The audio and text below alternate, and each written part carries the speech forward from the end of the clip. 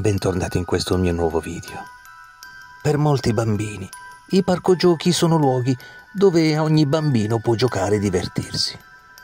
In alcuni luoghi, questi posti di divertimento possono diventare, di notte, soprattutto a una certa ora, luoghi dove possono manifestarsi dei fenomeni paranormali. I video di oggi mostrano alcune attività paranormali, riprese e documentate in questi parco giochi che vengono considerati da molti come i più infestati. Prima di cominciare voglio ricordarti di iscriverti al canale e cliccare sulla campanellina delle notifiche, questo per non perdere nessuno dei miei video. Detto questo, cominciamo. Un uomo sta tornando a casa sua dopo uno stressante turno di notte sul posto di lavoro. L'uomo stava percorrendo una strada dove proprio lì vicino si trovava un parco giochi. Arrivato presso a questo parco giochi, l'uomo notò una strana creatura situata sul tettuccio di uno scivolo del parco giochi. Prontamente l'uomo prende la telecamera e tenta di riprendere quello strano essere. L'uomo riesce a riprendere quella strana creatura. Allo stesso tempo, la creatura sembra accorgersi della presenza di quell'uomo.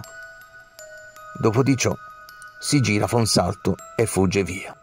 In base alle immagini, la strana creatura è stata catalogata come il Rake. Il Rake è un mostro dalle sembianze umane, definito da molti come pericoloso.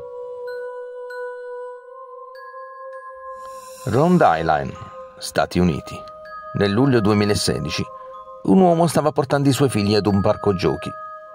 Arrivato al parco giochi, l'uomo nota una delle altaline che sembra muoversi da sola, come se ci fosse qualcuno sopra.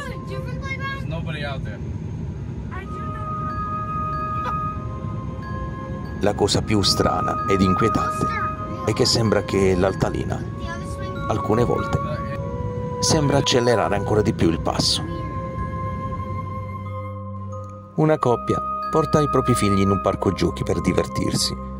Ad un certo punto incominciano a riprendere i propri figli con una telecamera. Ed una delle figlie sale sulla torretta dello scivolo.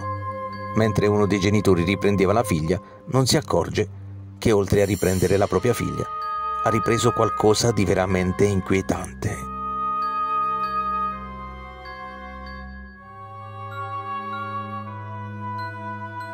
Dalla torretta dello scivolo sembra esserci un'altra bambina che viene ripresa cosa praticamente impossibile, anche perché gli unici a essere in quel parco giochi era quella coppia con i loro figli.